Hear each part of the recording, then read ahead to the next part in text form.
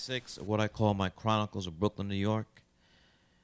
The Republic of Brooklyn, New York. It started way back with the first film, 1986. She's Gotta Have It. 1989, Do the Right Thing. Crooklyn, Clockers, He Got Game, and now Red Hook Summer. Clarke is a wonderful actor. He's one of the great American actors working today. And most of you probably know Clarke from his, the trilogy with, with David Simon.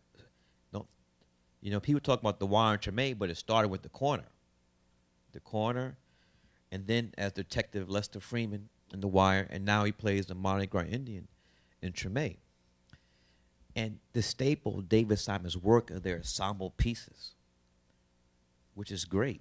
Well, for an actor, you know, David's very democratic, so he's got to spread the stuff around.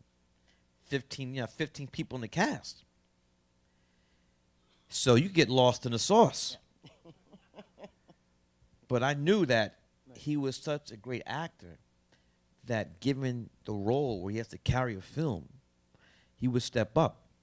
And it was very important to have a, an actor of his greatness because it is a testament to his ability as an actor and his humanity and his heart that people come out of this theater conflicted.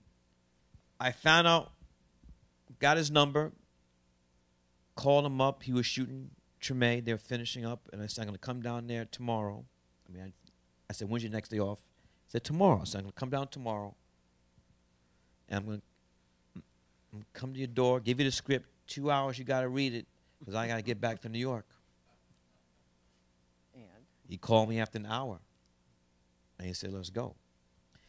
For the three leads for the kids, Jules Brown who plays Flick, Toni Lysaith who plays Chaz, and Sincere Peters who plays the young Blessing Rouse during the molestation scene. They all went to my old junior high school. There's a great drama teacher there. His name is Mr. Edward Robinson. And I knew once James and I wrote the script, I knew I could sit in the back of Mr. Robinson's class and find the three leads. I just sat in the back of the class four or five times. After the fourth time, they ben, began to ask, "Why are you here?" My next film is going to be we're shooting film, Mhm. but here's reality: I financed this film myself. Yeah. I just bought, I just bought a Sony F3 camera, and we had to shoot it in 18 days. Mhm. As you know, everybody knows here, uh, budget determines how many days you shoot. And we shot in a radius of like 10 blocks. yeah. So Okay. we would have any, you know, lose hours on company moves. You know, this is a new day, and if you, and- and we all know, uh, you don't adapt, you perish.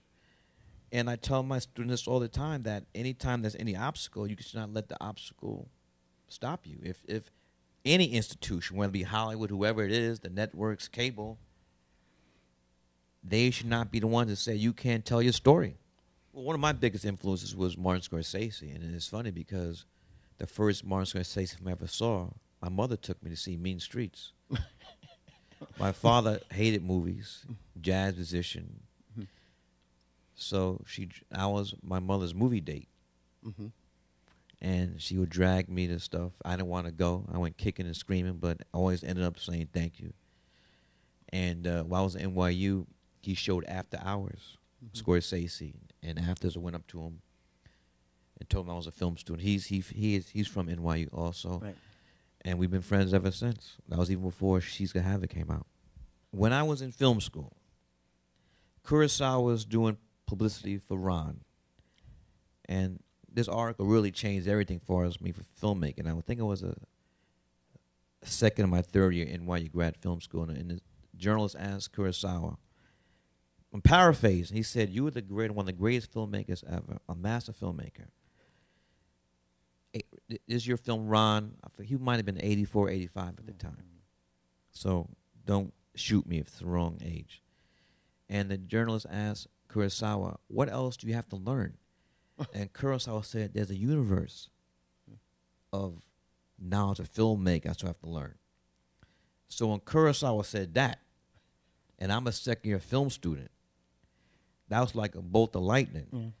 So everything I do is about learning.